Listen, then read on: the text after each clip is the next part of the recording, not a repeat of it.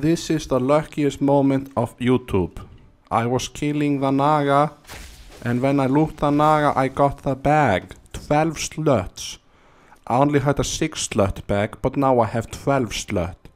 This is my favorite bag because it has 12 sluts instead of 6. Hey, think of it, it's double the size, double the amount of sluts. I'm so happy now, do you think so too?